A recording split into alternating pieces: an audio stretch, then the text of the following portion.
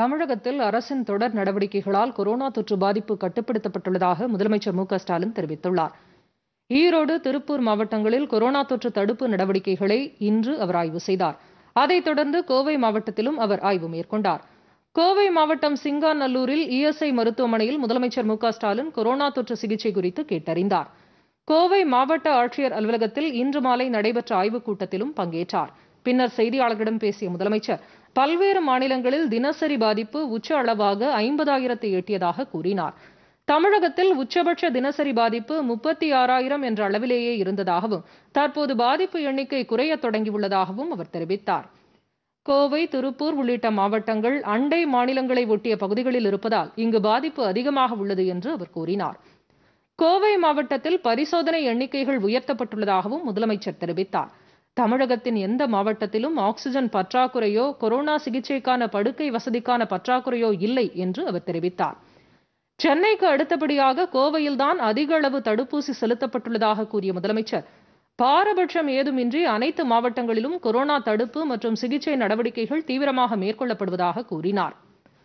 தளர்வுகளற்ற முழு ஊரடங்கு காரணமாக தமிழகத்தில் தொற்று பாதிப்பு குறைந்துள்ளதாக கூறிய அவர் மக்களின் ஒத்துழைப்பு இருந்தால் மட்டுமே தொற்றை கட்டுப்படுத்த முடியும் என்று தெரிவித்தார். அரசும் மக்களும் இணைந்து செயல்பட்டால் இந்த பாதிப்பை எளிதில் வெற்றி கொள்ளலாம் என்று முதலமைச்சர் குறிப்பிட்டார். இந்த கோவைக்கு வந்து இஎஸ்ஐ மருத்துவமனையை போய் பார்வையிட்டு இருக்கிறேன் மருத்துவர்களைப் போலவே பிபிஇ கிட் உடுப்ப அணிஞ்சுக்கிட்டு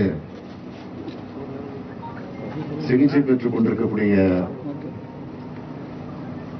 அந்த நோயாளிகளை நேரடியாக போய் நானே போய் பார்த்தேன். அந்த நோயாளிகளுக்கு சிகிச்சை கொடுத்துக் கொண்டிருக்கக்கூடிய மருத்துவர்களை செவிலர்களையும் சந்திச்சு அவர்களுடைய உரையாடி இருக்கிறேன். அந்த பிபிஇ கிட்டு உடையை போட்டுக்கிறது எவ்வளவு கஷ்டங்கிறது எல்லாருக்கும் தெரியும்.